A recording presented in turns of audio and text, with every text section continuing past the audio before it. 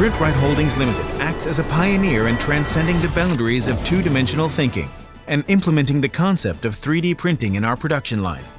On the threshold of a new era in the printing business, 3D printing products have been extensively applied in the fields of aerospace, architecture, mechanical engineering, toy, medical science, education, workmanship, culture, retail, fashion, and furniture.